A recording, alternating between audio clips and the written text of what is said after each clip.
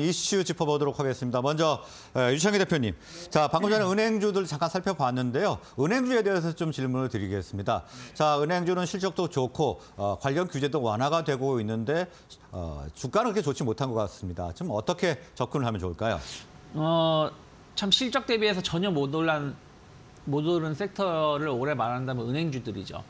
갈만하면은 조금 이제 경기 대한 우려감들이 어, 좋은 실적을 보여줘도 못 올라갔고 지난번에는 조금 3분기 실적을 발표하면서 좀 분위기가 좋았었는데 또 레고랜드 사태 때문에 어, 부실채권 우려감들이 좀 발생을 하면서 또 은행주들이 좀 못 올라갔습니다. 다만 뭐 앞에서도 말씀드렸습니다만은 예대율 규제들이라든지 금융권 그 유동성 관련해서 규제가 좀 완화된다는 부분들 그러면 은행주들이 조금 더 공격적으로 영업을 좀 할 수 있는 룸이 열리거든요.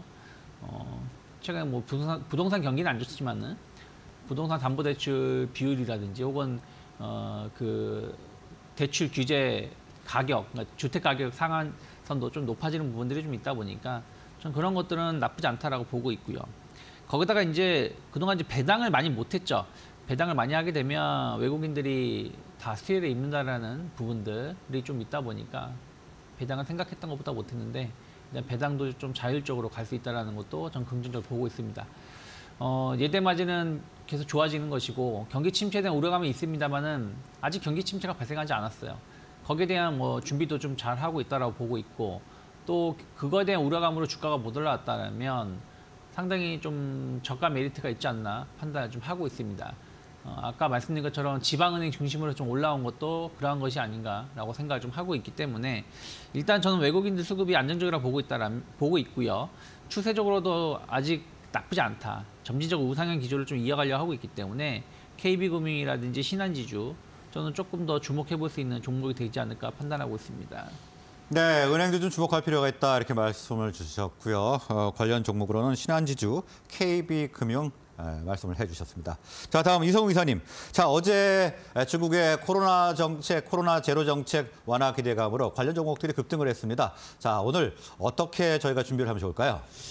완화 정책에 대한 시사점을 알아놔야 됩니다. 이게 왜냐하면 확진자 추이 감소가 나타나고 있어요. 그런데 이거는 큰 포인트는 아닙니다. 왜냐하면 통계적인 수치 같은 경우는 모수에 따라서 달라지는 경향이 있어요. 특히 중국은 더 그런 면이 있기 때문에 우리가 포인트로 놓고 볼 거는 지금 여기에서 중국의 코로나와 관련된 부분이 더 강화가 되는지 여부입니다. 그런데 자 이게 더 강화가 돼요.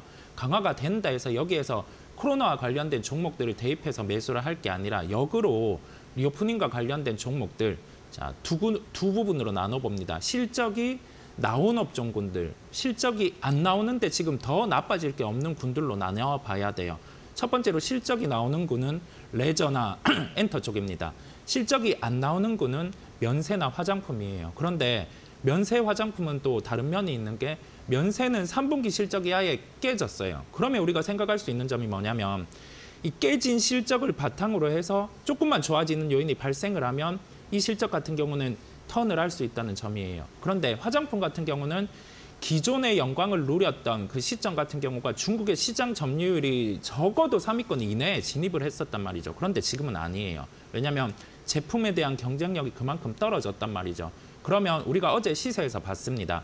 학습 효과로 인해서 중국과 관련된 부분에 접근을 화장, 화장품 쪽으로 접근을 했는데 그렇게 upside가 추가로 강하진 않아요. 우리가 볼 것은 자 실적이 바탕이 되는 레저 엔터 그 다음에 더 이상 나빠질 게 없는 실적의 구간에 돌입을 한 음, 면세점 이 정도로 추려서 살펴보시면 되겠고요.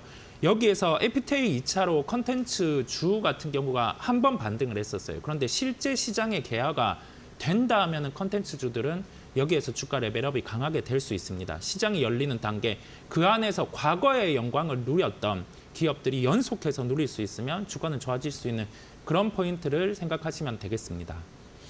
네, 중국 이슈에 관련돼서 짚어봤고요. 다음 관심 종목 알아보도록 하겠습니다. 유창희 대표님. 네, 하나솔루션을 선정을 좀 했습니다. 최근 유가가 좀 변동성이 나오고 있죠.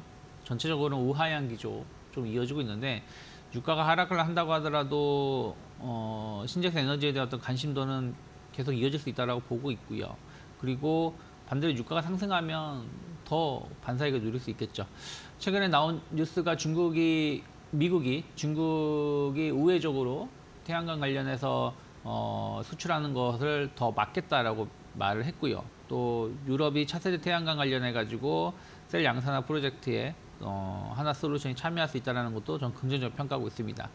어, 또 화학 섹터, 그러니까 유가가 하락에 대- 하게 되면 나프타라든지 어, 이런 부분들이 좀 수익성이 개선될 수가 있고 또그 중국이 어저께도 코로나 관련해 가지고 봉쇄를 좀 완화하겠다고 얘기를 했죠. 이런 것들이 전체적으로 봤을 때 업황 바닥에 대한 어떤 기대감들도 있다라고 보고 있습니다. 물론 오늘 좀 하나솔루션, 현대 에너지솔루션 좀 조정이 나오고 있습니다만은 뭐 아직까지는 나쁘지 않다라고 보고 있습니다. 추세 자체가 무너진 건 아니고요. 계속해서 우상한 기조를 좀 이어갈 수 있다고 보고 있기 때문에 저는 뭐 5만 원이 아주 가파르게 어, 붕괴되지 않는다라면 충분히 현재가 공략 가능하다고 생각하고 있고요. 단기 목표가는 6만 원 정도 열어놓고 있습니다. 네, 한화 솔루션 오늘 관심 종목을 알아봤고요. 목표가 6만 원 제시를 해주셨습니다. 다음은 이성훈 이사님.